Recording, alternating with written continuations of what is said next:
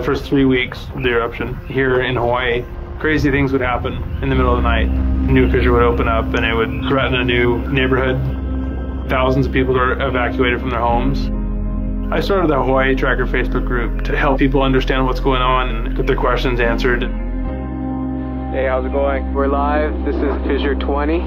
We had hundreds of people all throughout the neighborhoods sending in videos, articles, and images. We spend a lot of time making sure the accurate information gets out. This is live. Still lava moving. They weren't just sharing a story, they were helping their neighbor. If a family was being evacuated, my group would just jump in and help out. So it was huge. They were watching out for each other. Hello, everybody. Thank you for coming. Thank you for the support from everybody. As we go through this, we're growing closer together as a community when tragedies like this strike, you really realize how much you need each other.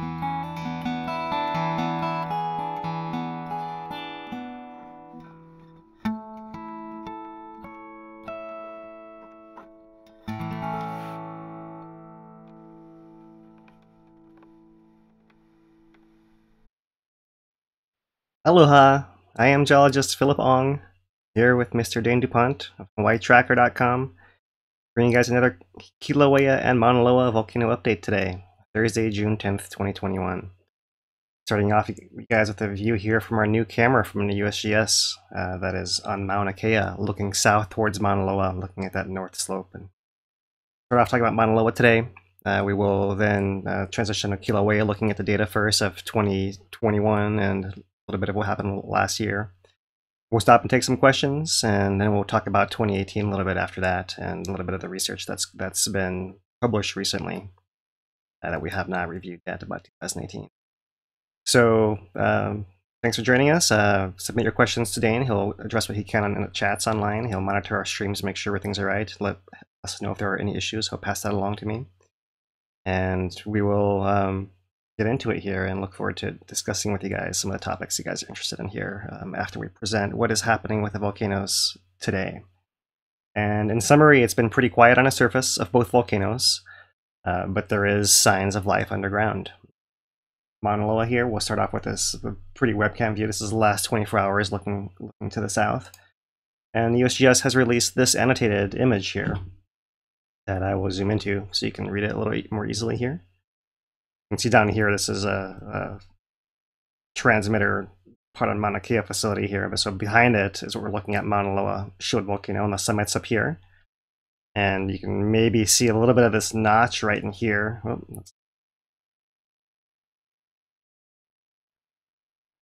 uh, I'll exaggerate it there. A little bit of a notch right in there.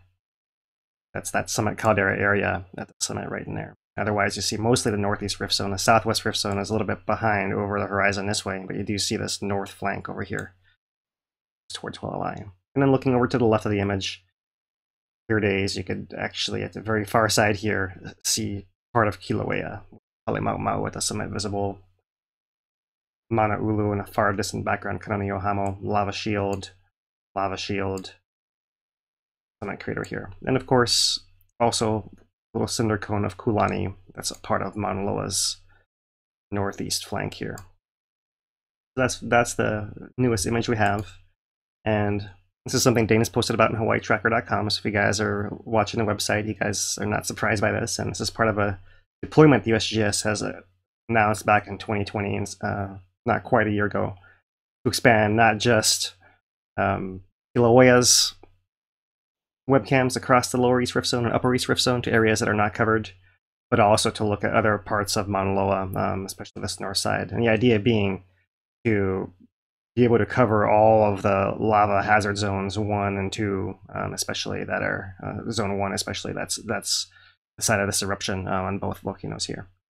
So I'll just refer you guys to this back over here. It says linked in Dane's article if you want to see more about it. I will I will leave it there, and move on and just show you guys a summary of what there is in Mauna Loa now. So we have here the Summit Caldera, the ML cam, or caldera view from the north, thermal image similar to there and very low temperatures on a scale here. So it's really, it shows differences in colors, but the very, very low range of scale here. So nothing volcanic happening up there.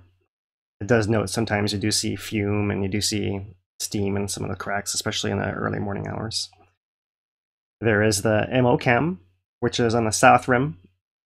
And it looks like it might have just gone offline a couple days ago uh, in the middle of the night, showing a black image here, but it is often online here. The um, looking at that uh, south rim, um, looking back towards the north, right, where you can see the 1940 cone and 1949 cone the upper upper rim.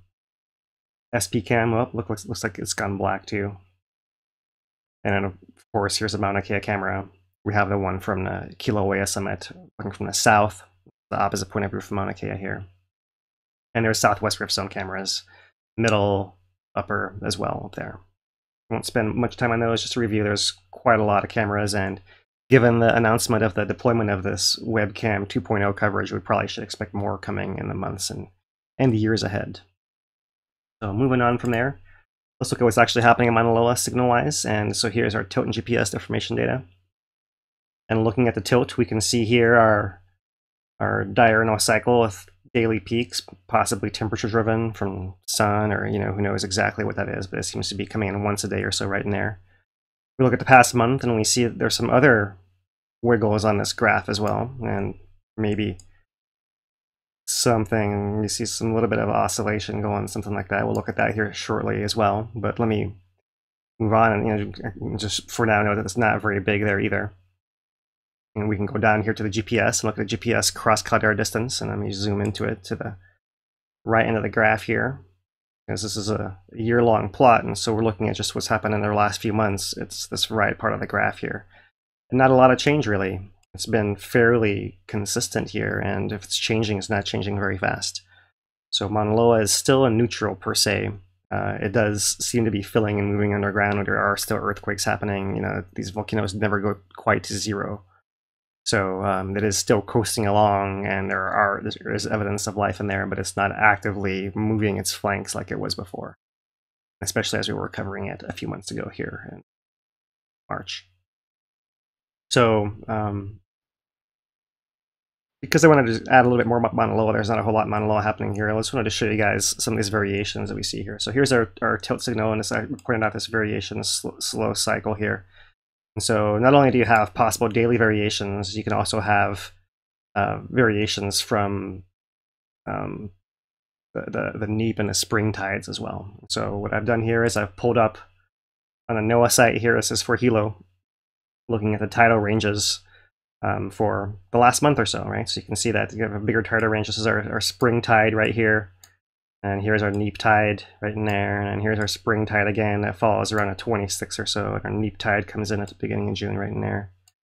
So that's in fact very similar this pattern we're seeing here, right? And it's interesting because we're actually um, we're we're not we're, you know we're, we are we are not at uh, a point where where the tidal effect is at its largest over the course of the year, but we're still seeing this effect. You can see it's it's very minor. It's a fraction of a microradian here, but just to show that these forces do have influences, and people often ask, you know, can can planetary bodies have effect on the volcanoes? And we can clearly measure that there are forces happening here, right? But you can see the magnitude is not as big as some of the volcanic forces, and so we often say that if it's a hair trigger ready to go, then this might be something that sets it off. But these are the kind of events that happen every single day, and so at that point, literally anything can set it off. So that's why we often often don't say, "Oh, it was because of this or because of that," but really at, at its root cause the volcano here. So just a little insight there into that that tidal pattern. And if you need a little quick refresher here, there's a NOAA diagram right there. Sun over here, Earth, Moon is either aligned with the Sun, where you can have the building effect of the tides, or it could be at 90 degrees, where you have them working against each other right? That's the neap tide, and this is a spring tide. So bigger variation in spring tide than a neap tide, and that's essentially what you can see in these longer term signals on on a solid Earth, in fact, as well. So that's that's an interesting correlation that appears to be there. But sticking to volcanoes here, let's make sure we cover our bases with USGS and the most re recent weekly update this morning um, noted 60 small magnitude earthquakes. That's about the same as last week, and it's relatively low compared to what we've seen in, in previous months. And it does note that there was one that was a magnitude 3.2 that occurred 0.8 miles above sea level below the summit. Everything else was less than that. So that was on June 8th. Otherwise, low GPS, low gas, no other signal signals of activity on Mauna Loa. They do note that 3.2 earthquake though. So that might be the most interesting thing there is. Not a whole lot of activity. Here's a past week of earthquakes in Mauna Loa. And there is that 3.2 right in there, and there that upper southwest rift summit area. And you can see that, you know, we've seen this activity before, so clearly there's still magma coming in. It's still adjusting. It's certainly not a dead volcano by any means. No one's suggesting that, of course. Um, but there is that sign of life, even though we're not seeing the GPS move. Not a whole lot of, of data really there to, to say much more about. Um, that is the earthquake pattern. So we can look at the, the trends of earthquakes here over the past year, and we can see that here we are at the right end of the year, and we're still at pretty low levels, right? we haven't had full time. We gotta ignore this very rightmost bar because it's not a, not a full week being measured here yet. But you can see all the previous ones have been a lot less the last five or so than the previous five. Overall, uh, really have have coasted into neutral here. So that is Mauna Loa. We'll look at the earthquakes on the, the island scale here. So this is the IRIS earthquake browser once again. And now I have it set up, set up to go from the beginning of June over here. So this is the last 10 days or so. And Mauna Loa, I can look at Mauna Loa first. Zoom in a little bit here. And there is that one earthquake and another one here. And you get a couple over here and over here. And that's just about it. Really not a whole lot to talk about there. There is a little cluster that occurred last week at Loihi that we discussed. There it is down there appearing. And otherwise, most of the action is on Kilauea. So we will turn our attention to Kilauea's monitoring signal now, using this earthquake map as a bridge here. And let's zoom in on Kilauea. And over the last 10 days, you can see here that there's been activity under the summit. And in a pretty straight line here underneath this upper east rift connector. Right in there. Zoom it in some more, perhaps. So this is the, the chain of craters road in national park comes down in this direction, right? Following the craters that mark this upper east rift, upper east rift connector area. So just as it was the case back in November of 2020, um, we have earthquakes not only in a summit, but a connected uh, extension that comes off here to the upper east rift that we've been pointing out for a while now. We're not really seeing a whole lot in the southwest rift, maybe a little bit of a cluster right in here, but that's not necessarily outside the summit pocket per se. So really nothing convincing in the southwest rift, but clearly this the magma reservoir is open that far at the very least. If I scroll it over a little bit over here, let's get pool on the side over here, we can compare what's happening a little bit further east. And not a whole lot on this map showing over here. but there are a few earthquakes starting to pop up in this region and here as well. So it could be that this pressure is migrating its way around, and if it keeps building at some point, that wouldn't be a surprise. And that was what happened before, where the magma built pressure all the way to right in here. And it still appears that there's some block in this area. We'll look at this to make sure that the signals are still showing us this, but um, cut to the chase, yeah, there's no evidence that there's no that there's a any opening that that, that block is is compromised still. So wouldn't be surprising to see this move to over here, and that's all normal, and that shouldn't be surprising or alarming to any of us. And only if it starts moving beyond that, once again, will we will we uh, have to consider how far might it go and what kind of alerts can we put out, and essentially be on higher watch at that point. But for now, everything's in a national park. There's no hazard to habitation or anything like that, and not expected to be. Right, I just uh, make sure I cover that base because I, I know that we've been out in the community talking to a lot of people, and people are still concerned about the volcano, of course. So, um, naturally, so the trauma of 2018 is going to last for a while, and not only is the the, the, the science advancing, right, with synthesizing everything that's happened from 2018 and getting published, but we're also processing and um, putting out new compilations, Dane's Drone On series that we'll talk about later as well. All that is, is part of our process of of simulating what happened in 2018.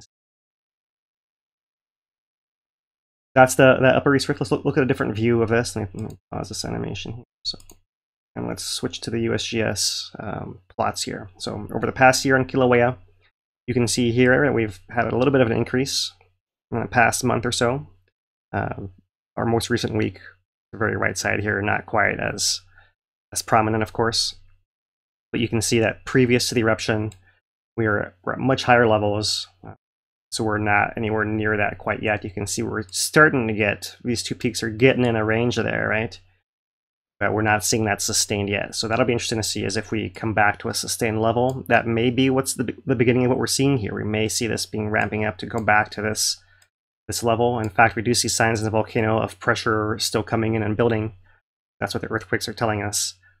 And uh, if it can sustain at that similar rate, you know, you, you, you could say at soonest it might be a matter of weeks, but it could be a matter of months before it pops out again or something's forced to, to adjust again, whether it's underground or coming to the surface as an eruption. We will only have to wait and see. So this is the past year. Let's zoom in here to the past month on the right side. Right button. There's a past month, so here's that increase that we saw right in there.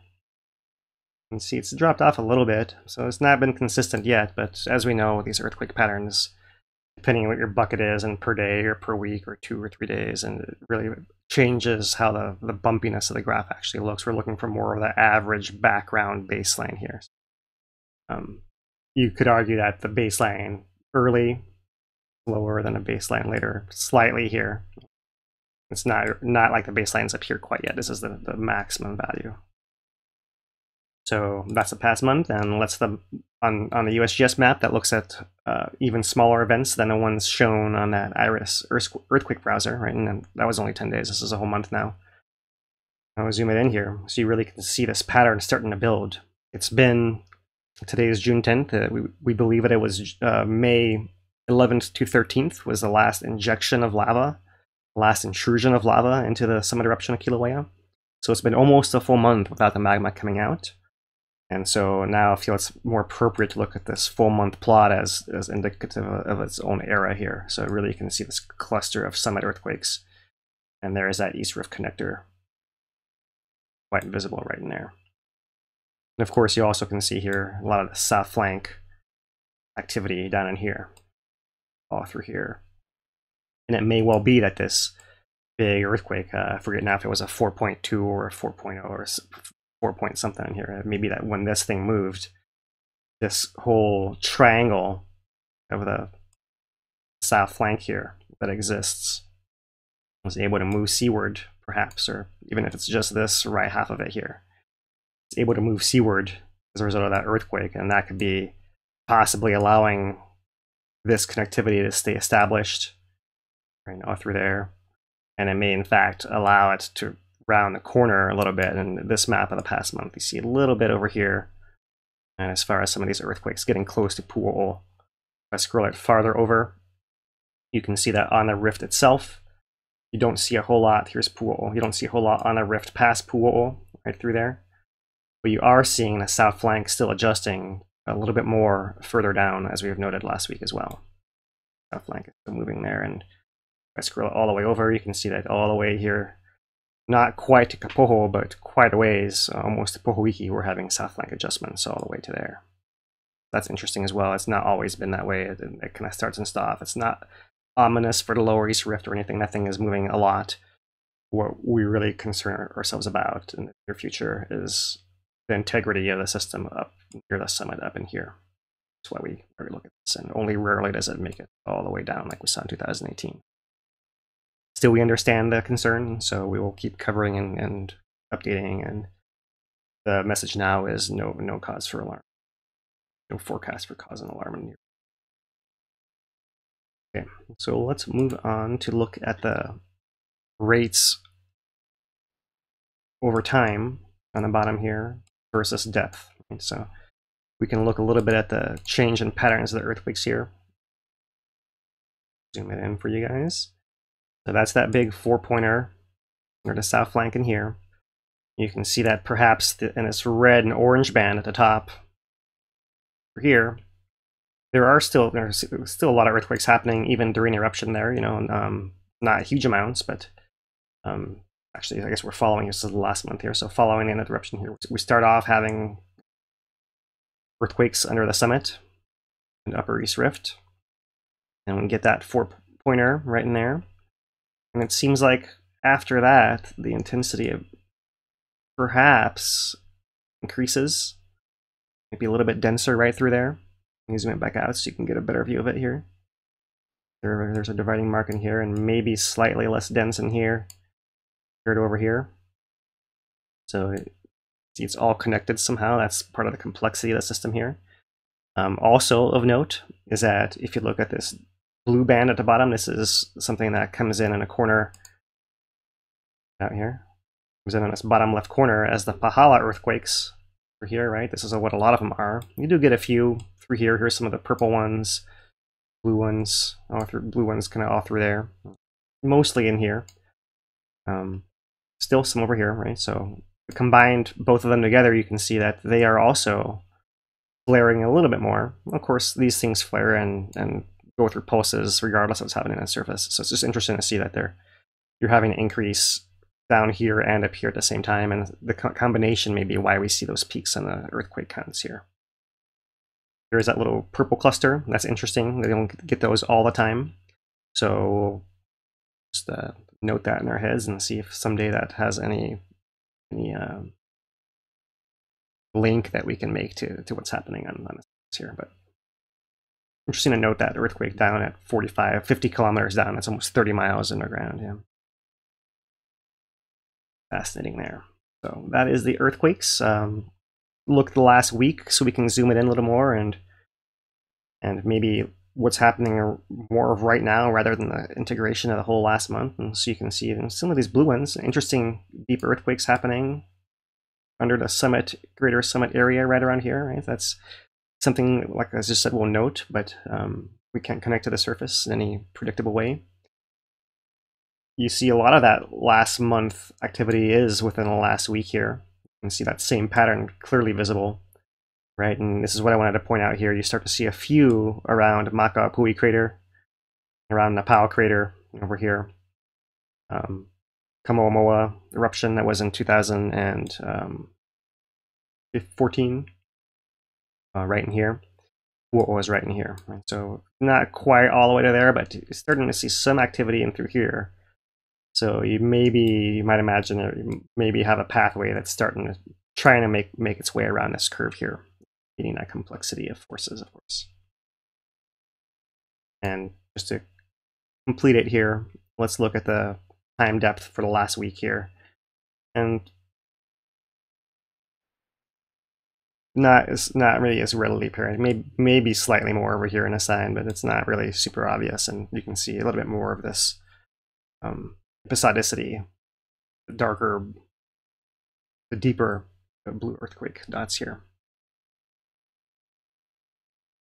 move on through before we uh, finish off our 2020-2021 eruption, uh, eruption summary here. We'll look at the deformation data on the surface from USGS.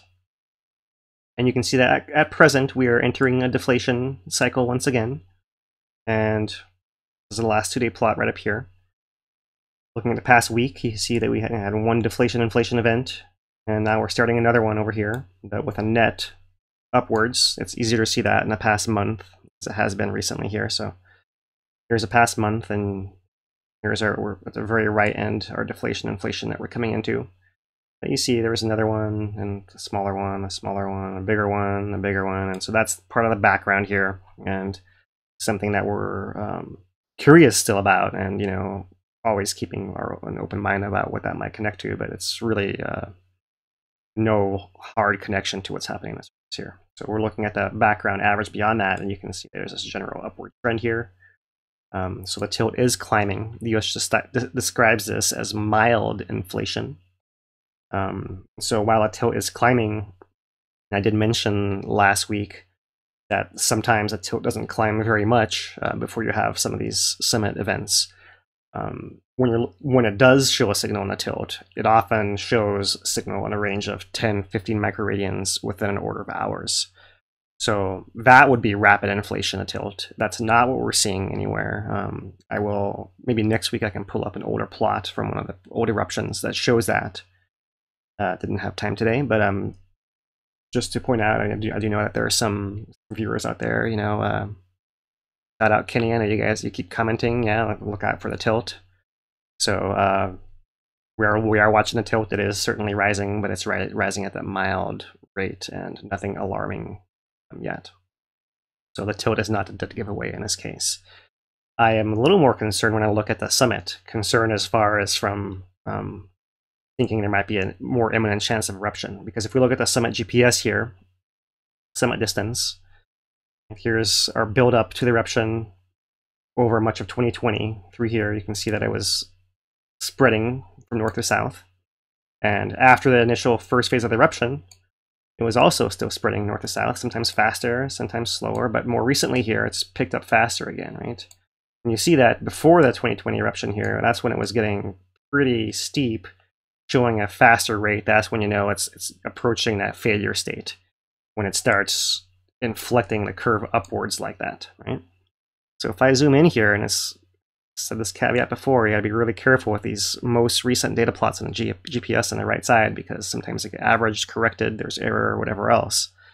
Um, one point could hold undue influence, right? If you think that's that's the trend, you might say this thing is shooting straight up, right? But if you think, okay, well, really, it should be an average of the range of it, then maybe we're looking at something that's that's still steep, but it's something like that. In any case, that's steeper than this, steeper than this, steeper than this even, maybe the same steepness as what's happening down in here, right? That's that is the more uh, imposing signal here that we're starting to accelerate the spreading rate. And if that's the case, then maybe we don't need a tilt to pop it off. So I'm looking at especially the combination of this and a pattern as as this evolves over the next few weeks and the earthquakes combined. Um, that's what gave it away the last time, December 2020, November 2020 and we're going to be comparing um, in the coming weeks how our current status compares to that 2020 November prior to the opening of the of the fissure in December 2020. First intrusion December 2nd, then eruption December 20th.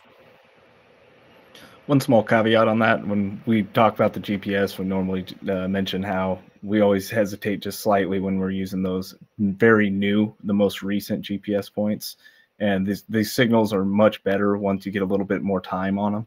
So you know, time yeah. is going to tell for this. Really, you know what what is happening, or how steep is this increase? Um, yeah. But yeah, with just a little bit of hedging, we always do on those signals. Right, the most recent few uh, bumps on there. Yeah, absolutely. Yeah, yeah. So yeah, um, thanks for restating that, Dane. And you know, just to, for example, here, you know, last week when we screenshotted this, our, our edge of our plot was right here and we saw this thing looked like it might be rising. Like, oh, if you look at it, it looks like it's coming straight up. And you see the next set of set of weeks is essentially mirroring it. It's just showing the noise in the data right there. And so that could be the same thing that happens. But even if it does that again here, it's still showing upward trend, and the it's more about the exact rate that we're worried about and how steep it gets, and it should build to that. It's not always so clean. If we look back over here to to uh, 2020, late 2020 era, you see that there's there are times when the data holds closer together, and there are times when it doesn't. So you will really have to just wait and see. So we're not quite to that steepness um, where we're jumping and you're seeing big gaps right? Huge gaps in there. Um, mostly everything is, is clustering still here, so that's what we'll look for. Um, there's once I, once again, there's nothing imminently um, alarming here. It's just that's that's building towards an eruption sooner than later when you start to see that kind of signal. And still, you know, if you were to were to push me on it, I'm still saying, you know, order of weeks to months, right? rather than, for example, hours to days kind of thing. Right, so we come down to the, G to the GPS at Pu'o'o, and similar as well. We've, we're talking about this caveat, right? You know, we've talked about this being a little bit of bait earlier when it popped up and looked like, like things were just shooting straight up. But you can see here this natural span of noisiness of the data, and it could be that there's real embedded signals within here that we can't quite decipher because of some of that. But for our purposes, when we see this kind of spread, then we have to pull back a little bit on the, the interpretation. Overall, average uh, doesn't seem to be um, spreading, right? So maybe instead of sagging and deflating, right, like it was as magma was flowing back towards the summit during eruption, um, now that that's stopped, maybe we're at some more equilibrium through here, and if magma does come back around, we'll expect to see this to turn back up. So that's what we're looking for is whether that turns back up and when that actually happens as a signal of magma coming back into the pool era area there. And to explore this a little more, we'll go into the GPS here. This is the two-year GPS. Um, these are the summit stations. I won't go into huge, huge detail of all of these, but you know, um, this is northwest, this is east, southwest, and southeast, and components east component, north component, up component, every one of them. So I would just point out that in all of them, uh, that we are we're going up before the eruption. Been going up since eruption since eruption has been ongoing. So up, moving up, moving up, moving up. Everything in the summit's moving up still. The ones that are in the northwest are moving north and west. The ones that are in the east, or this one's moving northeast. The one in the southeast is moving southeast. The one in the southwest is moving southwest. Getting pushed in the part out from the middle in all directions and upwards. That's that's the detail of, of what this data actually shows. And I wanted to point out a little bit more of what you see on the rift zone here. So this is Mauna Ulu here on the left. And we'll look at the up first once again. And you can see that this is the eruption. These are, these are two-year plots. So this is a, so this is the uh, 2020 eruption in December, right in here, and that drop was that first couple weeks of eruption, and since then you can see that we've been moving to the east, still moving to the south, and you can see that uh, not really up or down convincingly within the spread of the data either. Right? Possibly it is, but it's hard, to really tell what's happening there. But interesting that there's a little bit of a change here um, noticeable in the east just in the last month or so since the lava stopped intruding into the volcano um, near surface. So looking at Kāne Nui o Hamo, uh, you can see similar on the east. You can see on the north that we're also wiggling back, right, moving back to the north as if we're still adjusting to magma coming in, not coming in. The flux is changing over time there. And on the up, it's hard to really see, but um, I have to click through on this one too. And it's there's once again a big span of range of data, right? But you know, may, maybe there is a slight increase. We'll have to wait and see there as well. But um, definitely not dropping like it was earlier during eruption there, and possibly it's it's staying flat. And you see a lot of little wiggles in here, so it's really hard to tease out what exactly is going on in there. But that's the kind of thing where if you had more um, precise data, you could look and look and see which stations are moving exactly where.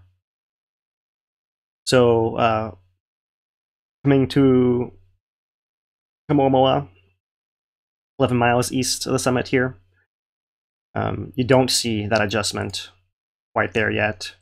You don't see it at Pu'u'ō'ō.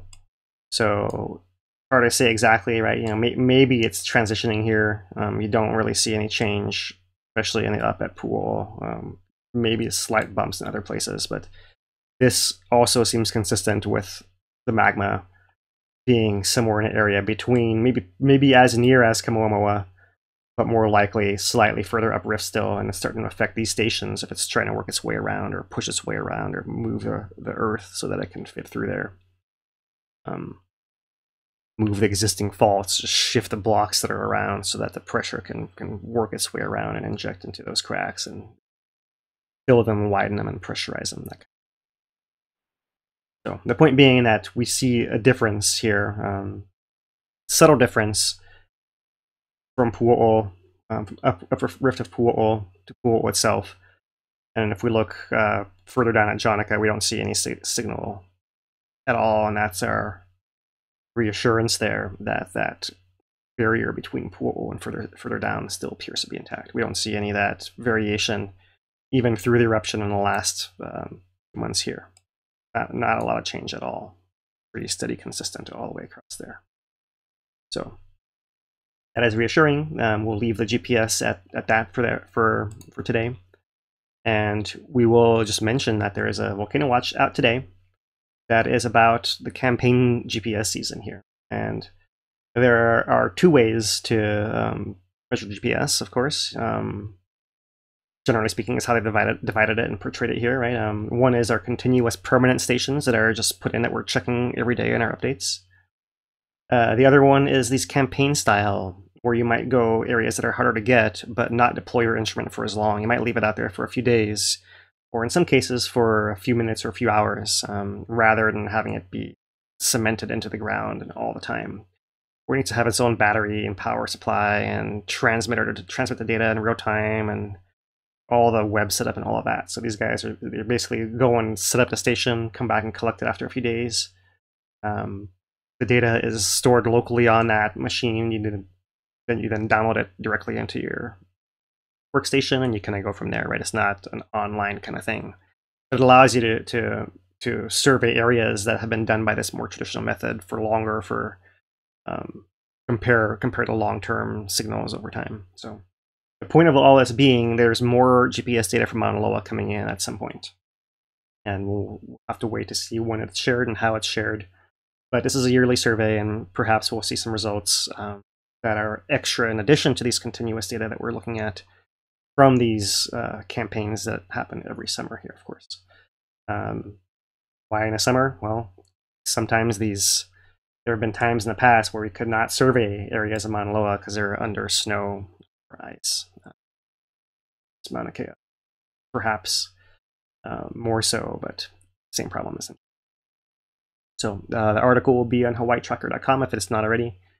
Um, it will be shortly, and you guys can look at the, the details as well, including this kinematic, kinematic GPS, KGPS, right, where they're actually using just a few minutes deployment for less accuracy, less precision, one or two inches precision, rather than the the the, the more longer term stations there. So if you're in a hurry, you can you can do something like this. Um, that is interesting to read about here as well.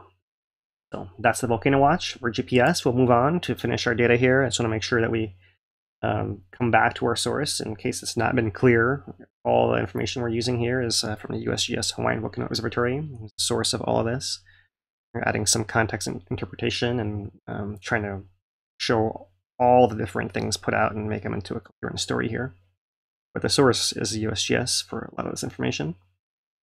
And the update put out on Tuesday, June 8th, a couple days ago, um, is no eruption. It could resume or it could be quiescence prior to the next eruption. We'll discuss that distinction here shortly. That was last week's Volcano Watch.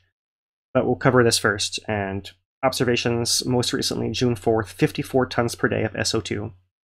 So that's still in that range of less than 100, and in that, in that range, that range that's essentially background. Um, and they note one deflation inflation cycle. They note you know, um, not a whole lot of change there. Um, while we're talking about the GPS, I will note that they have not changed their East Rift Zone observations, and they are still saying that The summit upper east rift zone between a summit and Pu'u'ō'ō is refilling at rates similar to those measured over the past two years and before the December 2020 eruption. So that is the official take on, on it, and we're looking at some of the um, finer detail that maybe is uh, uh, not referenced in here or not referenced yet, right? So this is certainly adequate. A little bit, a little bit more um, teasing, I suppose, from the signal signals we're trying to share with you guys here. So we'll wait and see what happens with the East Rift there, um, the Upper East Rift especially. That seems to be the most connected. Meanwhile, at the summit, the lava lake, no surface activity or evidence of activity over the past week, except for minor subsidence in the order of one to two meters, three to seven feet. That's the main event, main change at the summit here. Small temperature spots around the rim and local cavities remain in thermal webcam views, but at temperatures well below those associated with molten lava. So that is uh, major changes. You know, three to seven feet. Um, we did have a comment that I uh, um, I saw that someone was asking asking about where how big an area. This is very very localized, just small little areas um, are collapsing, not the entire over 100 acres collapsing down three to seven feet. It's just small pockets, especially where that active lava lake area was in the west. That eastern part already did its settling and collapsing, all of that already way earlier in eruption. So it's really that western area near the vent that's doing most of that little adjustment. And um, so it's, it's small scale stuff there. And the reason that's happening, of course, is you imagine if the lava is still liquid underground and it's got gas in it, the gases can still bubble their way and move, move their way out. And once the lava hardens to form some kind of matrix, that's when it's hard enough to crack. When you start forming cracks, and then the big chunks of rock can settle independently, and then you can start having shifts in subsidence and collapses. And so the combination of the contraction of the lava due to cooling, but also to the gas escape, um, which uh, the gas escape changing, of course, once once everything is solidified, you can't just move the gas bubbling it through the lava. You have to diffuse it out of there afterwards, right, and find a way out into the crack. And so that's a different, longer term process. So consistent with this, this one or two meters, three to seven feet, um, is what we see on lava lake, lake depth measurement. So let's cover our lava lake signals here. And first, SO2. Make it bigger here. Uh, there's our most recent, just above 50. And similar to the ones we've had here, all in that range, less than 100. Our last one that was over 100 was, um, looks like maybe the 27th. It's been almost two weeks. And if that one is just perhaps the, the, the aberration, you can go further back a little bit more, another further week back there, back to the 23rd or so. So it's been been very low SO2, and I'm sure that everyone who has been dealing with VOG, um, less so in, in recent months than early on in December and January, but still dealing with it, um, especially on the Kona side and Kau side, are very happy to see these numbers stay down. Okay, here's our depth plot, and depth is, this is the last month here. So this is the drop that was most recently evident on the 5th, where we went from 229 meters to 226 meters. And that may be similar to that little subsidence contraction events that the USGS is describing. This one was 3 meters. It's, consistent with an order of 1 or 2 meters there. So that may be, it looks like one very quick event dropped it down, and you still see these variations that may be related to degassing or some not clear what other influences is happening there. But while it's still visible, this will be the last update we can see this because of this month plot. About a month ago, it's really hidden here behind this label, translucent through here. There's a step right here. This was the last time the lava lake actually rose, was back on May 13th. So by by next week, this will be have scrolled off left, left of our graph here. We won't see it anymore. Just just a documentation here of the last intrusion of lava near a surface under that crust of the lava lake. Lifted the crust up, didn't actually poke out the lava at that point from this exact spot based on a pattern, although lava was circulating and popping up um, as late as the 23rd of May, right in here or so. That's the pattern here in a lava lake. And try to tease out what actually happened is not so easy. But here is an image from the F1 camera on June 4th. We'll compare it to one that was June 5th. And I have it zoomed in and off center here on purpose because I have to click it back and forth and it's really subtle for me to, for me to point out where it is. It's so it's right in here is the area where you can see a little bit of subtle change in the dark blue and purple there. And I wonder if I can make it bigger. Let's try to put it in one more time.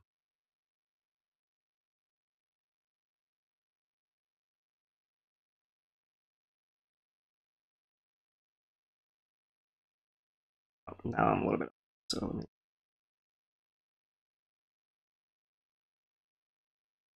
It's quite lined up, but it'll be right in here.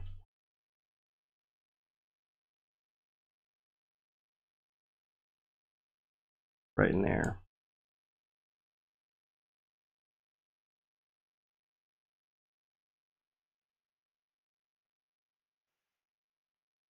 Very subtle change. It could be that that's where the laser is pointing for that one measurement spot, and it could be that that's the size, for example, of that little subsidence event might be just that big right in there. So this is just one little event that happened to be caught in a laser that we actually could look for here it's hard to catch these otherwise in the thermal imagery and super, super subtle.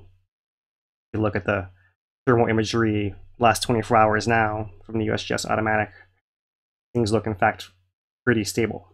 What if I could stop moving the image? There it is. Oh, reload itself. There is the image. See no obvious changes. You really see these these hot spots around the west vent still down in here and around that last remnant era area of that west pond right in there. Interesting, you do see some from this angle looking looking down. You do see it in that um, ooze up area between the hardened crust and the crater wall, right? And so uh, see it a little bit over here as well.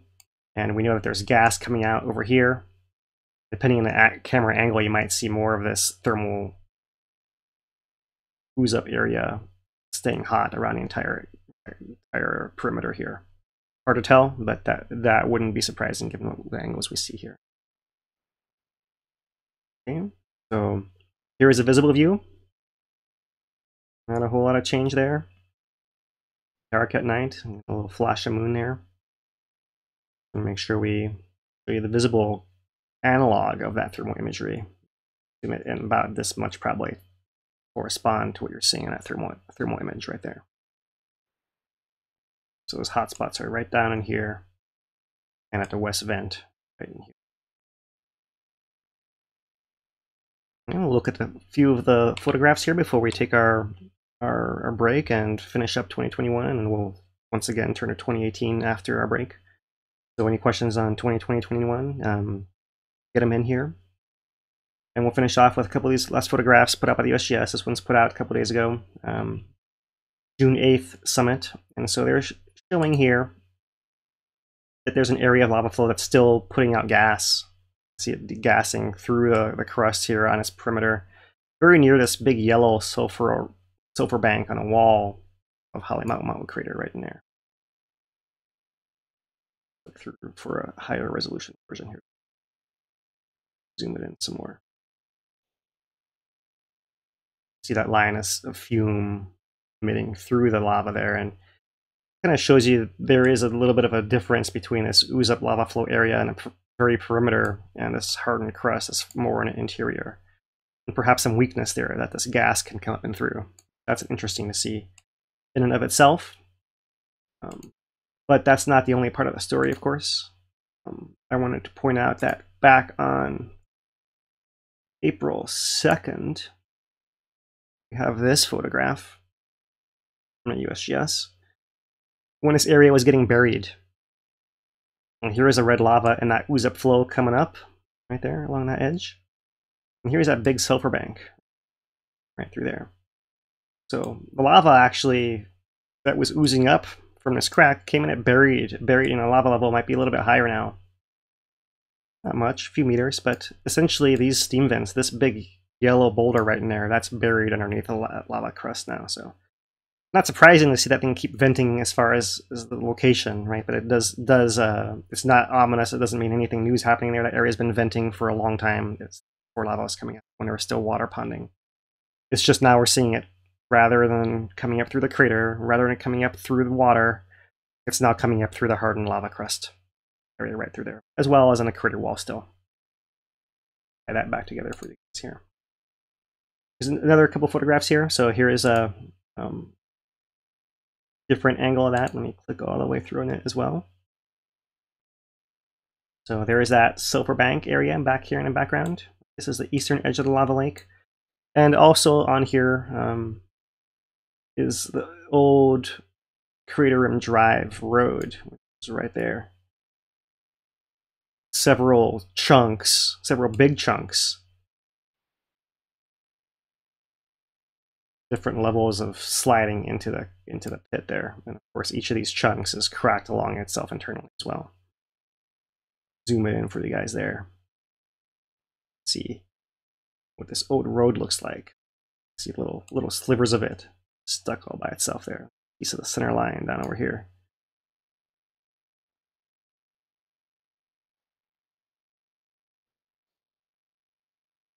All the way over here. Road to nowhere. Perhaps not nowhere, it is somewhere. I want to drive into. That is that. You released by the USGS as well. Back here.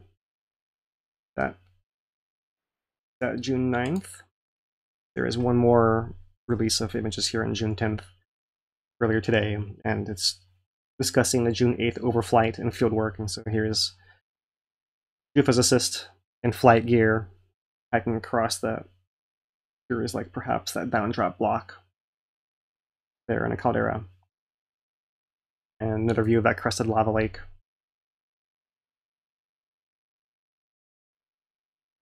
All hardened. Viewed, viewed from uh, viewed from the north here, right? Or west west vent area is down here at the bottom right. That active pond area was most recently active. There is the island. There's that hardened eastern surface. And the sulfur is on the north bank. An area that we've discussed in the past. Repeated field surveys, putting out different kinds of instrumentation, seismic, sonic, um, gravity, all kinds of things. Um, so interesting to see that they're uh, what they will say about what they found out there and another view of the southwest crater wall from the downdrop block there.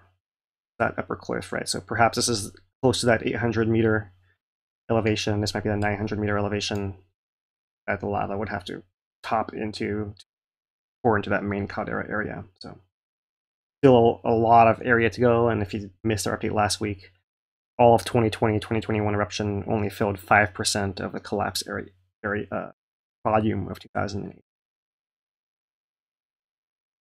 So we'll finish it off here. I wanted to bring up something that Dane found on Twitter here from user Cosme, also on Hawaii Tracker. And this is a Sentinel view time lapse of the entire eruption of Kilauea here. Straight above, it's a mix of natural images and false color. You see the progression of the lake of water to the full crater lava lake, and then as it contracts towards the west, towards the vent area over the five months here. Hello, go check out hawaiitracker.com. You guys can see that, find the original link and uh, Sentinel uh, data there as well. So we'll finish off this 2021 section with just a touch back quickly on the volcano watch from last week, the difference between an eruption and a pause. And long story short, it's whether it's longer than 90 days. That's all that they that's the current consensus. They they uh, justify it, of course. It's all good, of course. Um, but essentially, we're going to use different words. If it if it erupts again within 90 days, we'll we'll end up calling it a pause and a new episode. If it takes 91 days, we'll call it a new eruption. So pretty arbitrary in that way. Overall, the long-term pattern of the volcano is that there's magma coming into it at higher rates since 1950, and perhaps more so since the early 2000s. And overall, it's just a matter of time before it pops out again somewhere else, right? So whether we call it all one longer era of activity, of continuous activity, ultimately, or we say it's a pause or a new eruption, it doesn't really matter in the long term. It's more just how we put our human um, constructs here on this natural process. So that's the only difference is 90 days. And so the question is, will it last more or less 90 days before it pops out again? And the jury is still out, of course, because as I've showed you guys, the earthquakes are building. The tilt is coming up, not super fast, but it is coming up. The GPS is spreading. We determined how quickly, but certainly quicker than before. And we'll have to wait and see. Wait and see what happens next. That's that is the summary of what's happening in 2021 here, our current monitoring signals on the volcano. I do want to mention, as I said before, that this is a lot of this information is on hawaiitracker.com, um, where we have updated our photos, photo displays here, so you can come and see some of the great photographs posted by some of our local photographers, including Ray Durgan here. So check that out, and if you are a photographer, you can go on there as well, and you actually can link to sell your prints from there. And of course, it has to be uh, appropriate and local and relevant and approved. And I'll turn it over to Dane to proceed with some more other thank yous. Yeah, so we do want to thank our sponsors first and uh, foremost. We do have two uh, local businesses that are helping us out. First one is Kaleo's Bar and Grill in the heart of Pahoa. They do a twist on some traditional dishes that you may be familiar with. Um, fine dining without the price in a lot of ways. It's, it's I enjoy it. Um, fish and chips there is great. Steaks are good. Um, the burgers are you know amazing. It's you know great spot to go uh, chill out inside, outside, indoor, outdoor dining options. They got a bar. So and also you can do takeout for those uh, you know COVID safe uh, people that still like do the takeout option. They got it for you. Uh, really appreciate their support. Our second sponsor is Kalani Tours in Kona. They do a variety of different tour options, uh, including volcano tours. Not any lava to see right now, but guarantee next time it uh, starts back up, you know they'll be running those tours again. Uh, and they're still running them, and there's still plenty to learn. Right? You can. There's all kinds of history to be educated about, and that's what they try and do. Is a little more little smaller groups than some of the big tour companies. So you get a little bit more personalized experience with uh, somebody with a lot of local knowledge. So we really appreciate them uh, being a sponsor as well. And they do the volcano tours uh, waterfall tours and uh, coffee farm tour. Really good stuff. Appreciate them. We do want to encourage uh, anybody that appreciates this type of content to like, subscribe, ring the notification bell, and all that jazz. It helps us out a lot. It really does. It's surprising how much it actually does. We don't have the advertising revenue of you know many big media organizations, so we rely on viewers like you to share the word. And you know, if you like this, then show it to a friend. That really does help. Uh, we do take monetary donations on hawaiitracker.com, hawaiitracker.com slash support. And with that, let's get into some questions. Oh, we want to thank our uh, our grant. Uh, Hawaii Community Foundation as well. Uh, we do have a, a, grant to help us uh, with some operational costs to produce these type streams, as well as manage the content that goes on Hawaii Tracker. So we always appreciate um, everybody that helps us continue to do this type of content regularly. So with yeah. that, let's get into some questions. yeah, and, yeah, and, and so yeah, and, and, just a little bit more. That that is the Hawaii Island Strong Fund, right? The Puna Strong program, and partnership with the County of Hawaii as well. So right. thank the County of Hawaii as well. All right. So we got some interesting ones. Um, I'm going to start off with combining two because they're kind of similar. And actually, these might be better for the later part. Um, but let's talk about. Sherry has a question about how we are talking. Uh, you're talking about the tides and the influence of the the moon, and that. Um, but there is a little bit of uh, question about the conceptualization of that. Like, how does the tilt change? Is this the whole volcano moving, or is this focused at the summit, um, like the Yeah. the magma chamber swelling, or like a, a vertical dike type thing is the uh, yeah, it's it's- culprit? it's I mean we we often associate the tides with the liquid ocean, right? Moving moving around, but the tidal forces are present across everywhere, all the solid earth as well as the liquid, right? So the liquid can mobilize more easily, but the solid earth feels that force as well. And when you have an instrument as sensitive as a tilt meter, it can it just it just feels it. So it's not just one part of the volcano; it's the whole island as a whole. It's the whole the whole you know not quite the hemisphere, right? Um, as a whole um, feeling it. And of course, we're mostly water all around us, so mostly it's water around us. But when you know, when for example, the continental U.S. is facing facing and going through that that maximum spring king tide, for example, then that the the rocks there will feel it as well. Yeah, so that's Be interesting. interested to There's, yeah. there's there's always some there's always a force there, and there's always some trigger to to push things along. And so you know, um, it's just a matter of magnitude always. Like you know, how how does that size to the magma pushing its way, right? Right. I would be interested to see um, what this looks like on Hualalai, kind of the tilt meter that we use as a baseline for background activity. Um, but also, Hualalai doesn't have the magma chamber, at least we don't suspect it that it does. So there might be some differences in how it operates there. But And there's know, also that's the kind of the yeah there, there's the installation as well, right? You know how Mm. what are the details details of the installation? Um, what's the top- topographic relief? Are you like um on a you know some kind of feature above the ground that might have might be more exposed to tides? Are you buried inside of a hole? You know, All that stuff matters also, and a lot of that local stuff can make a big difference. And that makes it really hard to compare. For example, one instrument on Mauna Loa to the one on Hualalai. You know, the one on Hualalai Right. might might have some other factor that's more important and shows stronger. And Right. it's, just you know, so it's, when you, when you can see it and pick it out and be like, oh, that might be what that is because it looks very similar. You know, it's still not 100 percent conclusive, but that that you know, it's not always that clear. And so I, because it did look like, oh, look, this week it looks pretty pretty close.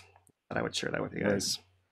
Yeah. Um, one thing I do want to mention is how small a microradian is because it's hard to conceptualize. The best explanation that I've heard is if you were to take a one kilometer long board, so a solid board, one kilometer long, exactly straight, and you were to place a dime under one end of it, that that angle change that you would see would be roughly one microradian. So in a lot of these changes, we're talking about even a half a microradian. So go ahead and double the size of the board, type of thing. It's it's it's a very small measurement, but we can still detect it, so we talk about it. Yeah. So yeah, closer to a mile long board for that half half a microradian. Imagine a steel bar that doesn't sag perfectly level. Right. So CHS has a question about earthquake activity, not Hawaii earthquake activity, but uh, Alaska. That the advisory level had been raised. Um, I'm not exactly sure where, but like I was thinking in general, what is the the conceptualization of the threat from Alaska, the persistent threat of earthquake sending something our way from Alaska, Uh, earthquake sending something our way. or Um, or an earthquake triggering a tsunami? Yeah, that's all. That's kind of an all the time hazard that exists for us. Um, the uh, the as far as I'm aware, the alert advisories that are on Alaska that have been raised are the volcanic alert advisories, right? So uh, they're, because volcanoes, do, you know, Alaska has a lot of volcanoes. Um, whole Aleutian Arc all the way to Kamchatka is, is all volcanoes. So um, a lot of area is not very very uh, inhabited or at all, or sometimes just marginally so. Um, so it's it's not a huge impact the eruptions themselves, right? So um, it's more so because aircraft use that corridor a lot. That the ash that comes up from those volcanoes affects Right. the whole northern Trans-Pacific corridor. That that, that that's such an important thing. So a lot of times the the um, and in fact a lot of the volcano alert and aviation codes come from that use case of of what information is being used for. You know, USGS information is used for for aviation. So um, there have been some several volcanoes. I'm I don't um, I try to find it here, but uh, um, there have been alert levels put up in Alaska, which volcano it was now. Um, let me see here. Uh, Semisopochnoi, maybe. I don't know. Um, that one is at at a aviation code orange and alert level watch, for example. The probably highest one on there. Um, and and that's not unusual. Maybe every month there's one that goes goes on alert or puts out a little ash puff or has increased earthquakes or something like that. So um, it's interesting to note. Um, it's a whole different cycle there because they have, they have so many volcanoes that they're dealing with as opposed to us here. You know, for them, they have so many that one may go off just from the sheer number they have, even if the eruptions are just little small ash outbursts per se, right? Right. All right. Um, Andre asks about is the about Kilauea uh, is the volcano effectively capped for magma purposes, or is it like a scab that can crack and bleed again? Gas still, uh, still escapes, but if magma wanted to rise, would it seal the crack? Yeah, I, I think it's it's more like the scab, really. Like right. The scab, and you know, I mean, depending how long it takes, the scab can grow thicker, and at some point, a scab could be enough to to become a cap per se, right? But that scab, you know, the edges of it are still weak, and so you could still have have pathways of magma up through the summit. And in fact, you know, the whole the whole fill of the caldera is is loose rubble that's a result result of various summit collapses over the history of the caldera that have been filled with layers of lava that have come and kind of glaze over them. So it's just a bunch of rubble under there buried with this kind of flat looking stuff. It looks like one big solid block. But there's it's all cracked and jumbled all underneath that glaze that you see on the surface of it as well. So right. the whole thing is like is like, you know, a giant mass of scar tissue. You go with the right. analogy a little further, and it can come up anywhere through there, and it's a matter of which particular spot compared, you know, through all the different chunks of hardened lava kind of. It's a good analogy, really. Um, could think of plenty worse ones, or have seen plenty worse ones. So that's you know, that was a good one. Um, mm-hmm. Thank you, Andre. So Charles asked about the some deep rock fracturing, right? If how conceptually does uh, earthquakes at say 40 kilometers work within the the the half solidified, half molten rock there, or is it more rock than molten? How does that conceptually work? Yeah, to have to have the fracture, it has to be solid and it has to be uh, at a low enough temperature that it actually behaves in a brittle fashion rather than flowing. Um, one analogy that maybe we could use is Play-Doh. If you have Play-Doh and it's it's cold, and you you pull it, give it a good yank, it'll snap right apart. If that same Play-Doh is warm or hot and you give it a yank, it'll just ooze out and string out apart, right? Because it's, if it's oozing and flowing out, it's hot enough to flow like as a fluid by ductile de- uh, uh, deformation, as opposed to brittly snapping and breaking. So rock has to be solid and it has to be cold enough, which is why you, you really don't see a whole lot deeper than that, right? That's near the limit. And so somewhere near the limit in that interface, there's probably areas of that depth that you can't have earthquakes because the rock is too hot or too liquid, and other areas where it, it isn't. And clearly where the earthquakes are happening, it isn't. And so it's and it's likely some interaction between the more mobile stuff that can move around and the solid rock that can't. And that's why it's getting getting pressured and then breaking some way, right? Right. So um, yeah, um, as far as like the you know com- compressibility, yeah, I mean you know the, the the the rock is compressible to a certain point, and then it starts then it's starts push um, transmitting that pressure across to further distances to along the fault line. The whole fault can move as a, as one, right? So that's part of the process is the compressibility of it. Yeah, and, and magma is also compressible, which is a, a big wrench and a lot, of, a lot of simplifications that we make. But um, right there's also a company. I'll leave it at that. All right. We got. We'll do one more question for this round. Um, two pine two pineapples asked, uh, "Why do weather patterns change when eruptions are happening?" Um, saw he saw an uptick in rain over the course of the most recent eruption in Hawaiian Acres.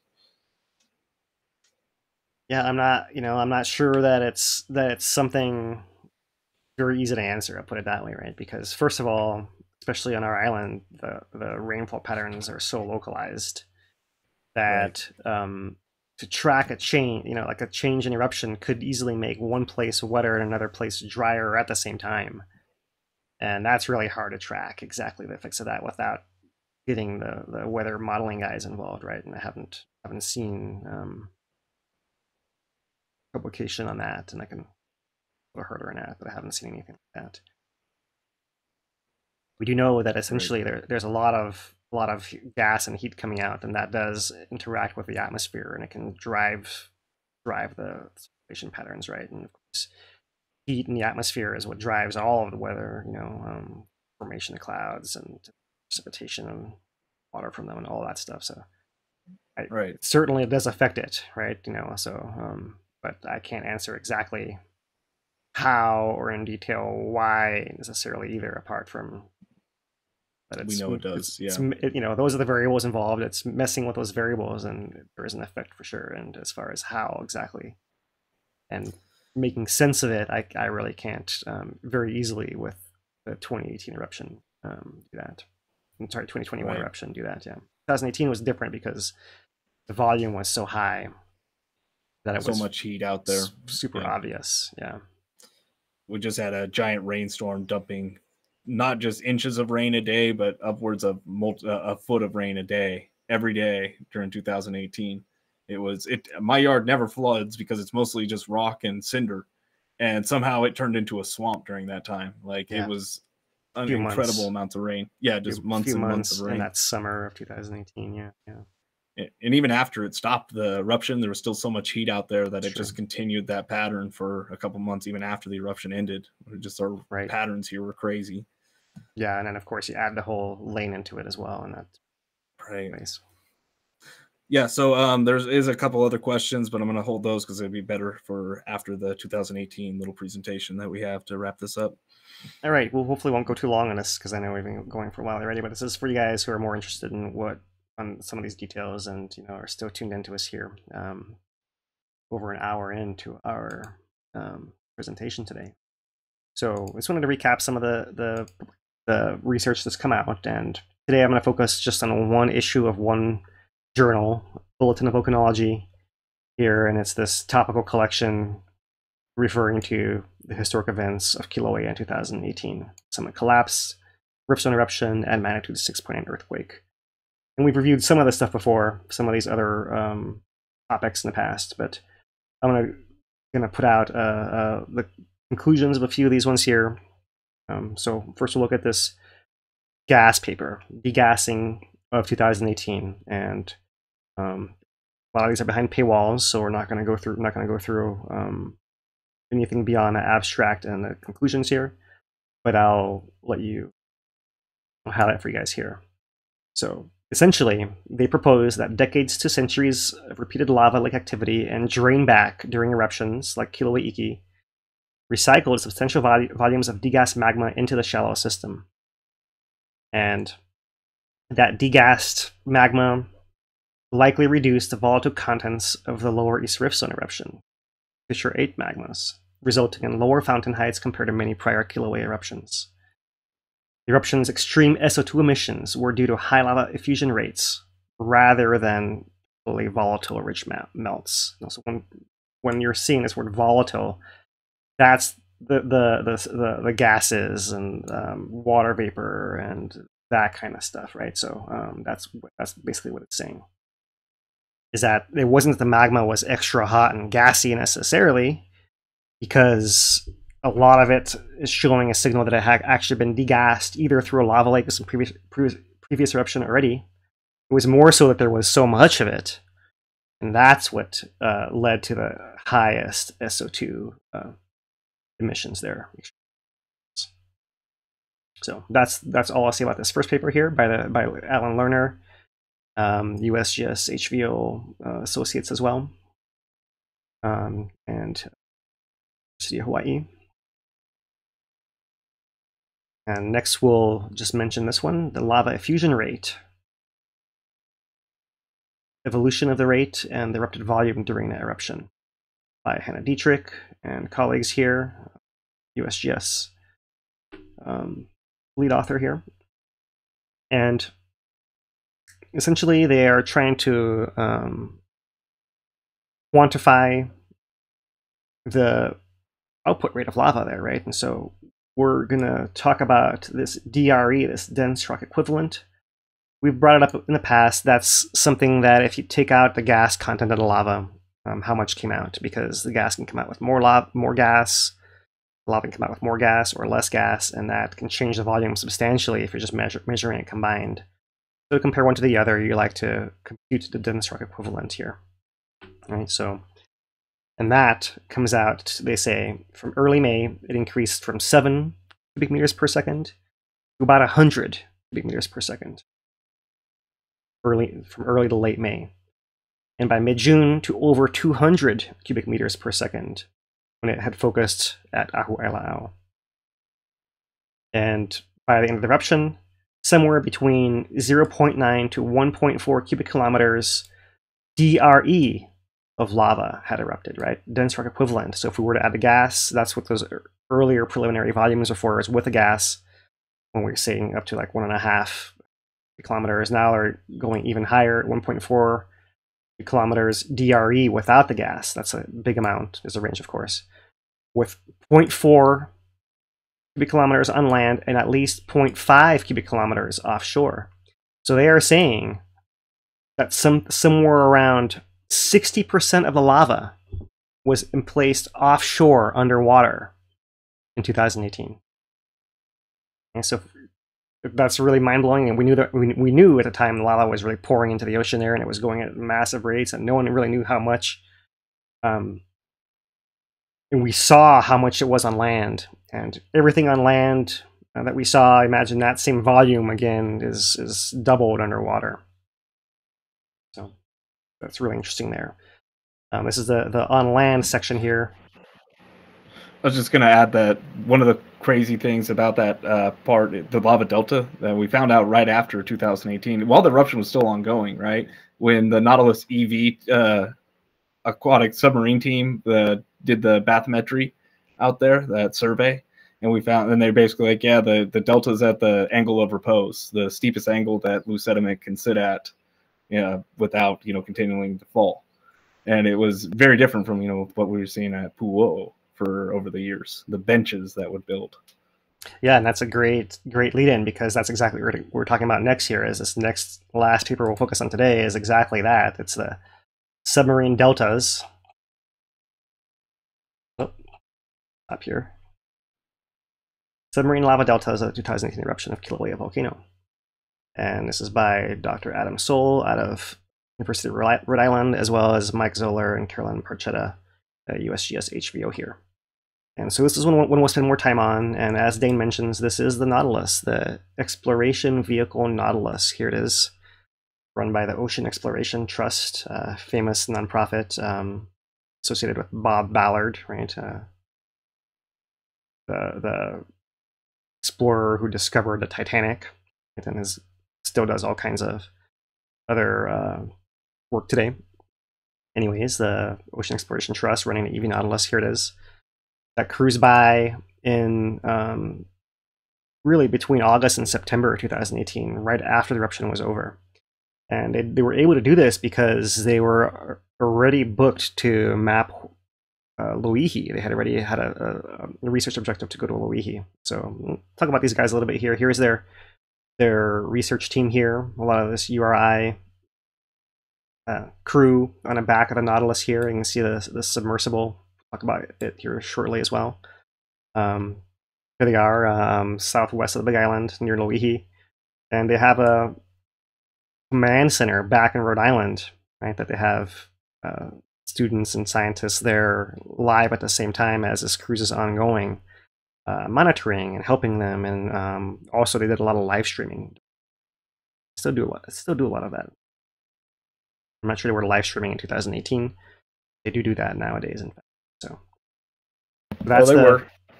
Were they? They were live streaming that. Yep, I remember it. It was pretty. It was. It wasn't the highest quality of live stream, but it was live streaming.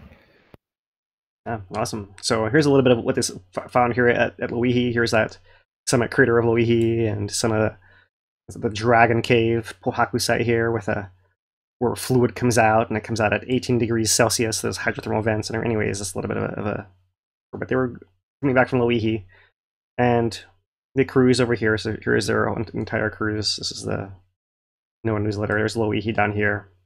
They actually ended up um, surveying a lot of this southern shore of Hawaii Island, all the way around the corner of Kapoho, all the way, and then a lot of this Puna Ridge offshore to the well. So big area surveyed, and really we're going to focus in on just right in here, especially for our like today. And so you can imagine there probably will be research coming out in the future for this and for that and for this area over here that everyone likes to talk about this whole Hilina um, slump area and the Puna Ridge is something that's super interesting, but not a whole lot of information out there as well. So someday we'll see more about that, I am sure, um, as well as you know areas of of um, hot water flow that they, that they try to sample, and there's all kinds of other uh, nuances here as well, right? And to kind of tie into what Dane was was showing was was saying earlier, a lot of material down there. This is this is actually material. This is photographs that they took with the submarine robot that they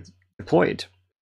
So here is at 295 meters depth, some finer grain blocks at angle repose, and here at 300 meters depth, bigger boulders at angle repose. But this was the one that's really um, striking to me. 692 meters depth, an intact lava flow down, you know, was actually still flowing intact and not breaking apart down at almost 700 meters below sea level there. That's fascinating to see that, right? So let's get into the study a little bit more here. Um, here is the, that first figure and showing on land the, the 2018 eruption trace. Uh, this dashed line is an old coastline right through there, so you can see that we added coastline in a lot of these areas. And really there's four lobes to describe. They describe the Kapoho lava delta. They describe the Ahalanui lava delta, and this the secondary one exists because back in July 10th, 2018, the lava that had been flowing around Kapoho, north of Pu'ukapoho, jumped its bank and flowed to the south to Halanui. So that gave us a secondary lava delta down here. And from earlier back in eruption, from back in late May when we had two flows come down to Mackenzie, we have down here two Mackenzie lobes, two Mackenzie lava deltas as well, here and here. Not quite as thick the thickness is shown by the color, but does extend out not quite as far, but similar distance offshore, as you see at Halanui as well, right over there, right? And Kapoho is a little bit further, especially when you start considering the distance from the old shoreline all the way out to here. It ends up being much, much larger distance. The Kapoho one is the is the winner as far as volume and everything else. You can see it's pr pretty special its size and distribution there. So here is zooming in to the Mackenzie ones. You see there and there. There they are. And here is the Halanui and Kapoho ones. So Halanui right in here. And Kapoho right up here. And in white, ROV, the remote operating, remotely operated vehicle. This is the submarine that they deployed, tracing this path right through here. to just transect all through here. So that is something we'll look at here shortly as well. And another view of it, this is the ROV Hercules that was deployed off of the Nautilus. There it is right there. I saw it in an earlier photograph too. So what did it see? Well, let's come back. Know, let's show you the photographs first here since we did jump there. So you see different views of, of slope, right? You see a coarser grained, material. You see a mix of coarse grained and fine grained material. You see areas, another mix right in there. Intact lava where you can see the stretched out vesicles. That this looks like a cross section of an AA flow. Typical, looks like something AA you see on land. Um, one thing that's easy to see on this image in particular is this ashy coating that's on top of all this stuff, right? They're described as visible for a long way offshore. And if, this is new land, so this has to have come from ash that was formed at that lava ocean interface. And so you are having some very fine material when we're looking at the photographs from the air. um, from the boat, we could see the discoloration of the water with all that sediment, and that's that's this lighter stuff that's kind of raining down across large, large areas offshore and coating this very, very young new surface. Even these boulders, you can see that over here, dusting on top of some of these boulders. See, they've been sitting there long enough and haven't really moved. Current's not really as well. Um,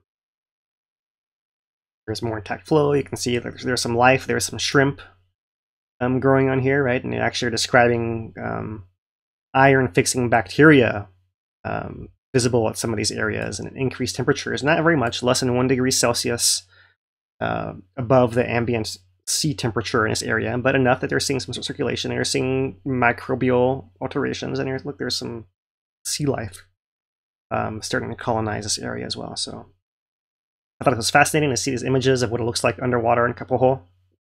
Right, this was, was about one month after the end of the eruption, more or less. And you can see a little bit of the, the, the mix of different kinds of things that are visible down there. So um, we'll talk about this the size of things here as well, and even this this slightly smaller stuff, slightly smaller cobbles and stuff is different than pool. In Pu'u'ō'ō, you saw a lot more of the sandy component. There's not a whole lot of sandy component here, and that's the big one of the big keys of why this thing may behave differently than pool is that sand component, right? Um, without the sand and these boulders, you have a lot more porosity. There's a lot more room for the, the, the water to move bet between those boulders, and the boulders boulders can settle at a deeper angle, and, and and because of that. So looking at some of the profiles here, this is a Delta on the top left, and then the Kapoho on the top right. Let me zoom in so you can see them a little better here. In blue is 2006, the previous photography bathymetry underwater slope. So it wasn't quite as steep. It got quite a bit steeper, you see. Um, and it's pretty consistent, and that's a Halanui right there. See, it extends offshore um, on the order of two kilometers or so, maybe a little bit more. Go from there to there, something like that. Two kilometers is a little over a mile, a little over a mile standing offshore. And they also have these plots inset in here, which are showing the slope, right? So this is the slope at any point in time, any point along there, and here 10 degree slope, 20 degree slope, 30 degree slope, and so you can see that we're at around 15 degree slope in areas, and some areas as high as 30 degree slopes with a lot of variation beforehand. And afterwards, we're pretty steadily at 30 degree slope and 20 degree slope for at the very, very farther out section out in here. So it's actually pretty stable at a 30 degree angle, which is something we'll, we'll note later is not what happens at pool. And here's a Kapoho where it's thicker. See how thick it is uh, you know, it's pretty thick, even pretty far offshore here. An old bathymetry here and a new material with a steeper slope here once again as well. So can see that we are actually increasing our angle repose over previous uh, uh, underwater topography, and everything is still fine, no collapse, no sign of collapse there at all.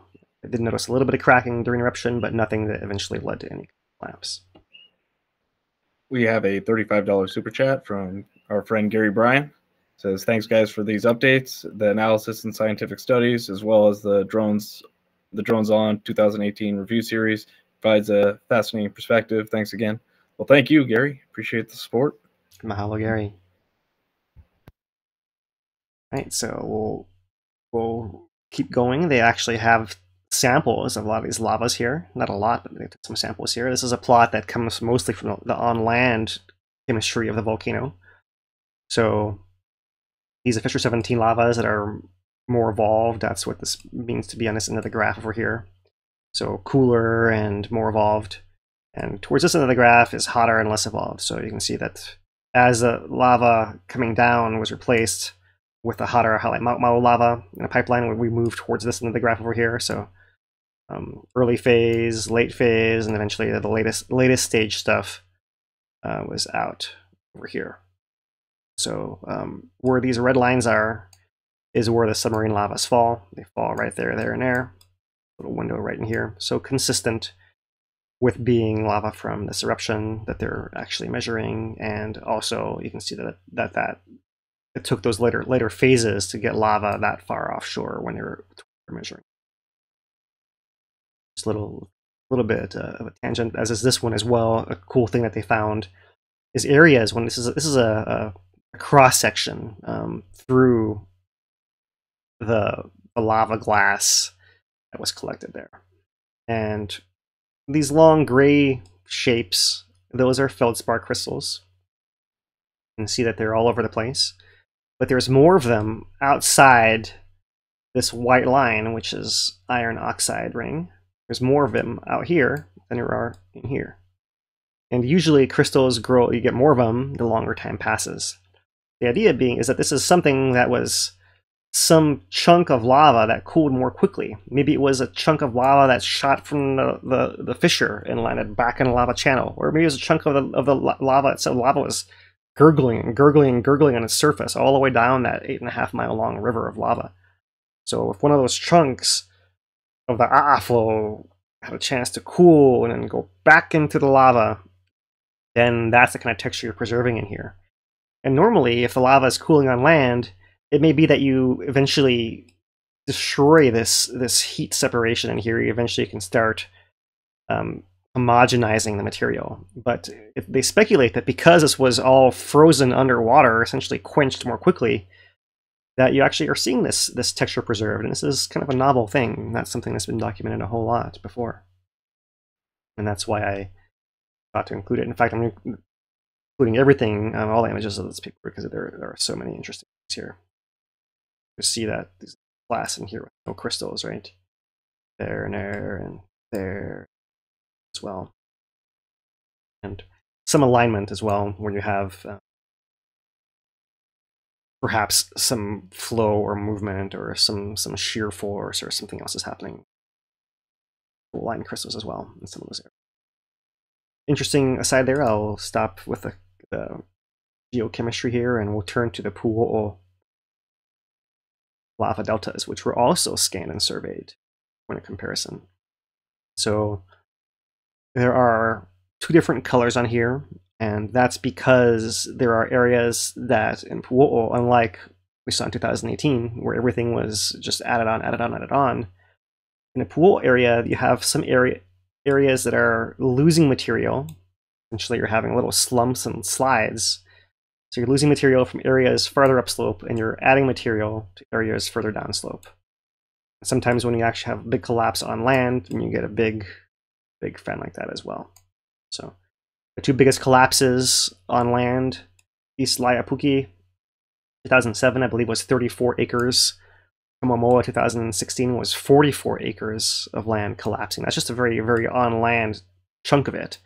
So there's a whole um, buttress of sediment below that that has to fail, and it's that whole chunk moving. When you see the top moving that much, then some big chunk of the bottom had to, had to have moved to to go off. This is all small scale stuff, um, nothing that would cause um, tsunami, but something that would cause acoustic signals that are, are have been documented um, underwater and pass through microphones on Lō'ihi, in fact.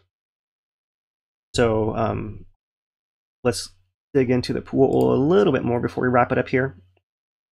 So a couple, couple of cross sections in the pool area here, and you can see that there are some areas where in blue is the previous topography in 2018.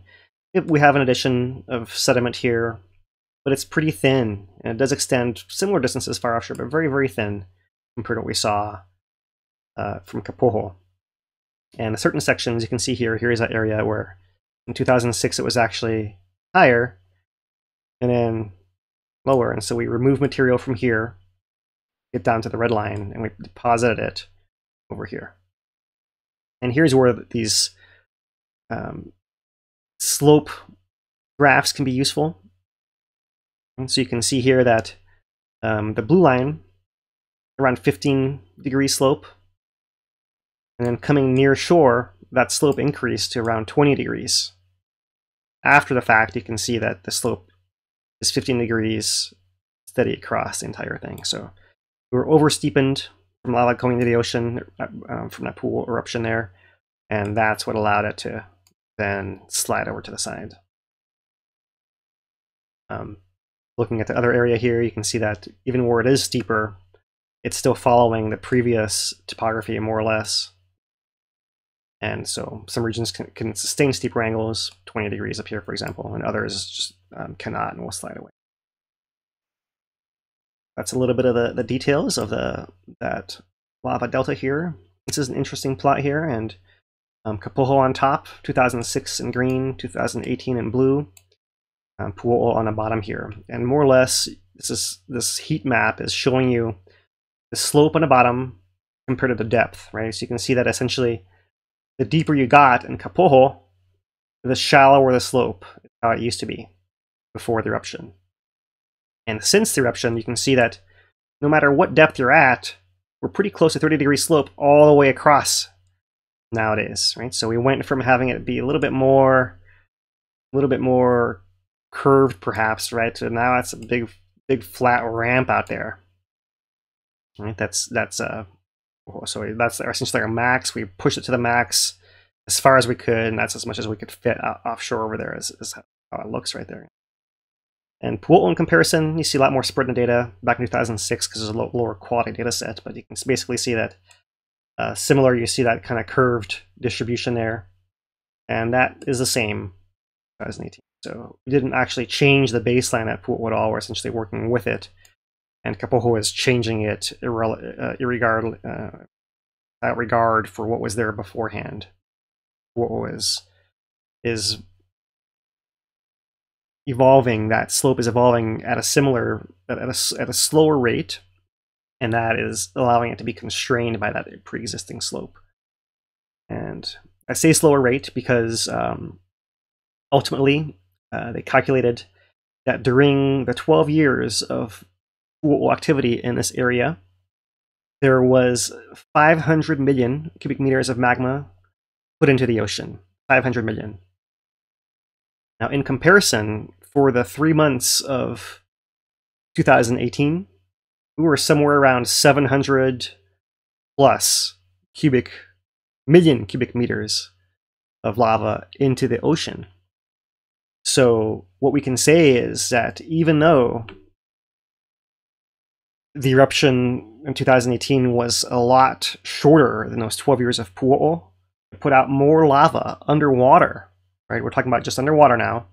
Got more lava into the ocean in those three months than it did the entire previous 12 years of Pu'u'ō'ō. Right, so that's a whole order of magnitude faster. So the lava's going in a lot faster, and the idea is that when that's happening, you minimize interaction of lava and water at this interface right in here, right? The interface um, you have lava still interacting with seawater, but you have a much larger interior of the flow that's allow, uh, able to go to much deeper depths to erupt. You can certainly have explosions from offshore or underwater that can come up um, through the water, not right by the shoreline, but a little bit offshore, as was the case in the the tour boat accident in 2018 in July. Um, whereas when you have lava going into the ocean slower, like in the pool era, then it's essentially interact more of it is interacting with this interface. So you're getting more of it shattering and forming that sandy material. When you have sandy material, now it's it's able to slide more easily because it's not um, not bigger chunks. It's you know when you when you have big blocks, it's like you know you know the like when you're if anyone has kids and your kids are playing with building blocks, right? You can, you can get big angular blocks and stack them pretty steep angles, right? And if you have smaller blocks and like, you know, imagine like, uh, you know, um, salt. Salt is actually little cubes, right? If you look at the mineral structure of salt, it's like a tiny little cube. And try to pile up salt, it's hard to make a giant stack of salt if it has a natural angle of repose. Right? That's that's um, that's uh, uh, less of a slope than the bigger blocks. And the same thing is true with sand and big blocks of lava, for example. So it's partly because of that that grain size, right? Um, the size of the sediment dictating that you're able to have this movement and you can have landslides run out. And landslides, even though they're going down less steep slopes, 15 to 20 degrees in pool era, um, because of the of the composition of it, it can go out a lot larger distance, a lot longer distance offshore. And the ones that happened in 2018 would only go a little ways because the blocks would just tumble, tumble, tumble, and then land, and that's the new spot. It doesn't have to keep going. It's not a, a fine sediment that's going to keep going out and out and out for over a mile offshore. So the landslides end up being being shorter. You end up having a steeper slope offshore. And the other thing, as noted early on, intact lava flows down at the very bottom of this thing. If lava is intact, intact in the middle of this stack and it's not all just loose debris, right, then it can also be perhaps more internally uh, uh, strong, right? Although there is some argument there as well because possibly those intact flows could be pathways for fluids or other things, and there's some complication there as well. We won't get into won't get into here. But um, essentially, the answer then is is because lava was going in faster in 2018, uh, it was able to embed coherent flows that went down to great depths. It was able to break apart into bigger blocks, and that allowed it to have a steeper slope, and as a result, not a single collapse. 2018, unlike in Pool. Right? And so this is inter- interesting to note, and I'm sure there'll be more research in the future because they, this is very important as far as hazard assessment. Right? If you're worried about this was a question during 2018 eruption: is the lava delta going to collapse or not? Then now you might know an important thing to look for is the size of the sediment that's uh, uh, collecting offshore. And that may have to do with the kind of lava that you have, right? Uh, deltas have, have been, been documented elsewhere to have to be different than Pahoehoe deltas. It might depend on exactly exactly why, right? You know, an A'a flow is different from, from Pahoehoe and often having less gas, so less porosity within it. And it can have more crystals as well. And it was reported that this flow in 2018 going into into as we just saw just saw uh, from those thin sections um, going to the ocean here, the lava was very crystal rich already, crystal rich and gas poor. Um, so maybe maybe that um, had an effect as well, right? That internal um, strength from being more crystal rich and having less bubbles in it uh, makes it harder to break the rock. That that um, as well, and of course. Uh, that depends on the flux, how much lava is coming out of the ground. And usually, when you have a lot coming out, it often comes out as uh uh. So, some interesting correlations there, and you know um, we'll see what happens. Lava goes in, in, the ocean in the future, wherever it may be. You know, it can be different styles, right?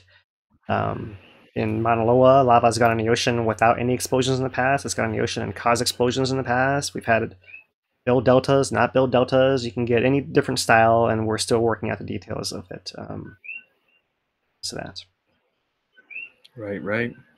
Well, that was really good. Thank you, Phil, for going through those papers. Um, I believe we we showed the one that we have access to. The other two are kind of behind paywalls right now, um, which we don't have access to. We'd like to bring you that kind of content, but as of right now, cost prohibitive. Um, let's dive into some questions, huh? We have one really good one here if you're ready. Yeah. Um, actually, this is like an aggregation of three questions that we're going to turn into two questions but it's all about uh, continued collapse at the summit. One second. Okay. So David asks, um, do we have to worry about the uh, additional summit collapses in the say you know next couple years um, that could expand and consume the visitor center or the Jaggar Museum? We'll go with the Jaggar, um, and potentially compromise Highway 11. Um, for a collapse to compromise Highway 11 and a visitor center, would have to be, be on a high and a large side of collapses, right? Because even the 2018 collapse didn't do that, and um, that was big for our lifetimes for sure. There have been, you know, there are cracks beyond that that we think go back to to the Powers caldera, the Great Caldera. That's back maybe 2,000 years ago or so, right? Um, it would have to be, have to be a really big one. For that to happen, you would have to have the magma leaving the area again. So it would have to go go out one of the rift zones to the southwest or down to the lower east rift again. So if magma were to you know uh, find its way to the lower east rift again, you might might deal with collapses at that point. Right now, there's no indication of that happening. There could certainly be smaller collapses, um, not of the size that, would, that we'd have to worry about it consuming those areas. Um, if we get to that point, we'll have other things we're worried about first, like lava going down one of the rifts to some further area to cause a collapse in the first place. So uh, we're not. I'm not worried about that at this point in time. And, you know, and that would certainly be a unusual event, right? Even a collapse that we did get to see in 2018 wasn't right. that big. Uh, just to expand upon that, M Ice was asking about. Um, so we are talking about potential activity in the Upper East Rift Zone and even uh, say we have an eruption very similar to the one we just had, but it was to take place on the Upper East Rift Zone, would that be able to continue uh, to put us back into a cycle of collapse, further collapse? Um, so the I mean, what, what it comes down to in the end is the collapse. It's it's a it's a net calculation of volume, right? So you have to remove the volume from the summit somehow you can do that by moving it down one of the, one of the rift zones to erupt somewhere, right? And so if you moved it to the upper east rift zone, that certainly could satisfy that. The southwest rift zone the same. But it's not just you have an eruption there; it has to be enough volume that you can then cause a collapse at the summit. So it's not just okay, it popped in the east rift zone for one or two days, but it kept going for a while enough to cause enough volume to leave to cause a collapse. So we'd have to have an eruption ongoing for a while for that to happen and right. um, we'd have to have to of course see that first. Um, certainly, there have been eras of Kilauea where it has collapsed multiple times in the century, right? In the 1800s, especially, right? We talk about 1832, 68. Um, there was another one, seven. Um, but anyways, right. multiple multiple ones in a century, and if you know if if you were to have a south flank affecting things and moving to create space underground, that's another way you can remove volume from the summit is by moving the south flank. And of course, right, and... that may or may not lead to that magma going to the rift zone, and may or may not lead to an eruption. But it could do that without that, just by moving the south flank. Right. Just to add those 1800 uh, collapses that you were speaking on, those weren't as big as this one. This one was a pretty big collapse, but the big collapse, the real big one, was the one that formed the caldera itself, the the main caldera that we see at Kilauea Summit, and the just what we what we uh, suspect is associated with that and the, features in the lower east rift zone, like the Kapoho crater or the uh, the the pit craters behind uh, uh, Honolo Street. I can't remember the names of them right now. Um, yeah, the pit crater is more so than Pu'ukapoho has got a, a longer, weirder, unique, more unique yeah. history. Yeah, but you know, a lot like of the pit craters. Yeah, per, perhaps so. Yeah, um, it's we don't know a whole lot about those uh, uh, the details of some right. of those of those 1800 collapses, right? You know, some of the maps that we, maps that we have of the caldera floor um, jump across more than one collapse, so you, it's hard to really know. I, I, believe that some of them may have been bigger in 2018, in fact, oh, where really? it, it, wasn't just the western part of the caldera floor, but the western and the central and the eastern part of the caldera floor have all were all low, and of course the whole configuration was different before then, right? You know, right. where the where the shallow chamber might have been, for example, might have been slightly different.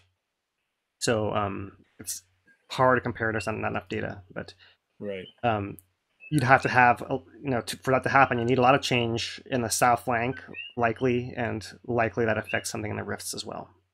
So it doesn't happen by itself without something else triggering it first um, to the best of our understanding at this point in time. Um, we got one more here. I'm gonna go with that one uh, finish it up with. Bill asks has the new shoreline eroded uh, due to the the waves the tidal actions taking place there? I have not done a survey. I don't have any information that really, really show. You know, um, I think anecdotally we have heard that there have been some small collapses along the sea cliff there, yeah. but um, anything you can share? There's There's been a few. Um, it is, you know, I would say it is eroding, and that rock is getting pushed into Pohoiki more and more. So when we started out, the sediment we were seeing there was mostly sand. So everybody's like, "Oh, it's a sandy beach." Over the past year, it's been mostly rock and rocks that are getting bigger in size, or just it's it's it's now rock beach. Um, dude, and then like that's just the erosion coming from the the cliffs getting washed in uh, with the tidal forces in there. So, but it's the interesting thing is between this what we're seeing and say something like 1960 when the the ocean entry there because if you go along that from the ocean side it's sheer cliff now like 10 foot 20 foot just sheer vertical cliffs all the way around so are we going to get to something like that potentially yeah, that's certainly what we would, expect. Yeah, and it's, an interesting point right, right up there, right? You know, we, we talked about how this offshore Nautilus study didn't see any sand anywhere, but we saw a whole bunch of sand at Pohoiki, right? And we're not seeing it anymore. So, you know, we certainly know that there was some sand there, and I think probably it was generated during that uh, eruption as well when lava, you know, there certainly was an interaction of lava and seawater, and there was sand produced, and maybe that sand, along with that other ashy stuff, has stayed suspended in a water column and didn't make it down to those depths and kind of got got pushed away, right? Um, yeah. To Pohoiki. The point being, you know, um, only because we've been um, talking to the community and talking about the restoration of Pohoiki boat ramp and the movement of sediment and all that, right? It's important that we realize that there was a big pulse of sediment generated during eruption that is no longer the case. And so even though we have rock coming and moving and depositing and shifting around, the right. production rate is not nearly what it was during eruption, um, what yep. we're seeing now. So rocks are still moving, but it's not like it's um, moving in so quickly like it did during right. that eruption right afterwards, right? You know, that, that, it's not that it's uh, uh it's, it's, essentially it's it's a much slower rate um, that we're seeing now than right.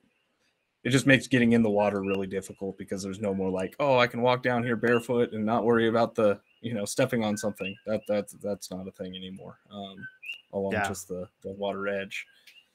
But yeah um i believe that does it for questions. If we didn't get to your questions we uh apologize. There is one last one about are they going to rebuild the ramp? They the new plan is to dredge it, and we will be doing an update on that when I get it from the engineers. Um, they're going to be making a mock-up that we're going to share, and yeah, we we got to preview it yesterday, kind of the new plan or the latest version of it, and it is quite interesting, and it is somewhat of a change from what we were talking about previously. But we'll we'll explain that a little more when we have a little bit more information about uh, you know the, getting designed a little bit further. Right. It's not imminent because because there's a whole process with FEMA and all of that. So right. we still have time to get all that to you guys. It's going to unfortunately take a while. Right. Right. So yeah, my, we got plenty of time. all right. Thank you, Phil. Yeah, 2018 is what we what we just we wanted to focus on a little bit, just kind of you know re- recap some of the science here. And as I mentioned earlier, um, Dane is, does have a drones on video coming up um, after we finish our live today. That kind of continues that that pattern. Um, so tune into that. And otherwise, we'll be back with you guys in a week on Thursday and bring you guys Mauna Loa and Kilauea update once again. Um, we'll still try to catch up in the comments if you guys uh, didn't get questions answered and you're really itching for it. You know, um, drop it on YouTube, drop it on Facebook. Um, may not get to it immediately, but we'll get get eventually uh, to, to, questions there as well, and it helps if you tag us as well. Uh, one extra attention that way. So mahalo, you guys. Mahalo for your interaction today. Mahalo for your, your good questions. Um, Thank you guys for uh, our, for supporting us. Uh, thank you to all our sponsors and to all your small donors who really are a huge percentage of what this is going. So, anything else you want to add, Dane, before we sign off here and switch over to drones on? Nope, just yeah, drones on, and we'll premiere um, after this live stream. Give it maybe five minutes, but it will be there, and I'll be in chat as well. You know, answer any questions and discuss. You know some of the changes of that day. We're going to be covering May 22nd and 23rd. So we're looking at some perch ponds. We're looking at uh, some breakouts along the lava channel and a new lava channel trying to make its way down to the ocean. So, yep, that'll be in Drones On, which will premiere right after this. Yeah, so yeah, we'll yeah, we'll get to that shortly. Um, one just last plug for Hawaii Tracker, hawaiitracker.com. Check it out here. You know, um, those of you guys who are planning to come to Hawaii or in Hawaii, uh, one article that's up there I forgot to mention earlier, Uwēkahuna, the Overlook by Jaggar Museum, has reopened to the public yesterday. You can't go to the, that rock wall area, is still closed, but you can go over here to this high mark um, to the west or to overlook or to the east or, or to the overlook to the west over there and get a, get a similar view into the crater as was available. So visitation's high. If you guys are planning a visit, you can now update walk a little further and a parking lot's open so um, this massive visitors to the to the island and the park can spread out a little bit more. Some more bathrooms as well all that's appreciated. At some point uh, give you guys more updates of what's happening in the park here. Just to, just to mention that keep an eye on hawaiitracker.com find some more nuggets like that.